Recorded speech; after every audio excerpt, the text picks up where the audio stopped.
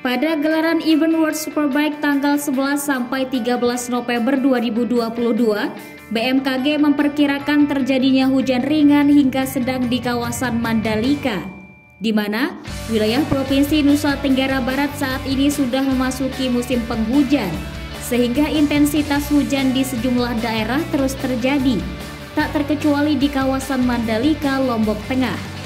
Situasi ini seolah mengulang race USBK tahun lalu ketika para rider dipaksa menggunakan ban yang menyesuaikan dengan trek basah. Berdasarkan perakiraan BMKG Stasiun Meteorologi Zainuddin Abdul Majid Lombok, pada hari Jumat 11 November 2022 cuaca diperkirakan cerah berawan pada pagi hari. Sementara pada siang dan sore hari cuaca berawan disertai hujan ringan. Pada Sabtu 12 November 2022 pagi hari, cuaca diperkirakan cerah berawan. Berlanjut sore hari cuaca berpotensi berawan dan diprediksi turun hujan sedang.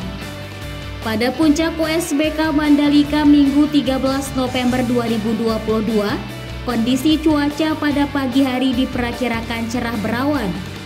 Berbeda ketika masuk siang sampai sore hari, diperkirakan akan turun hujan dengan intensitas sedang.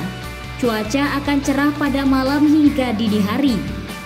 Terkait dengan kondisi cuaca yang tak menentu, Komandan Lapangan USBK Mandalika 2022 Jamaluddin Baladi, Pemprov NTB bersama sejumlah pihak akan segera mendirikan posko terpadu di sekitar sirkuit Mandalika menjelang USBK. Posko ini jadi tempat konsolidasi BMKG, BPBD, Basarnas, Korem 162 Garing WB, Polda NTB, Dinas Sosial dan pihak terkait lainnya untuk membahas potensi bencana hidrometeorologi di bulan November. Mengingat intensitas hujan sudah mulai meningkat. Sehingga potensi bencana seperti banjir, tanah longsor, angin puting beliung dan lain sebagainya ikut menjadi atensi bersama.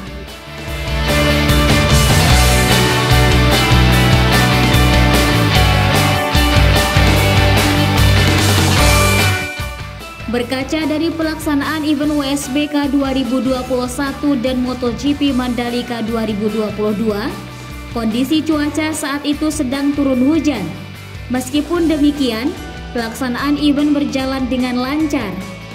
Jadi bagi ada pemirsa NTB 1 jangan lupa membawa jas hujan atau payung untuk antisipasi terjadinya hujan ketika menonton WSBK Mandalika.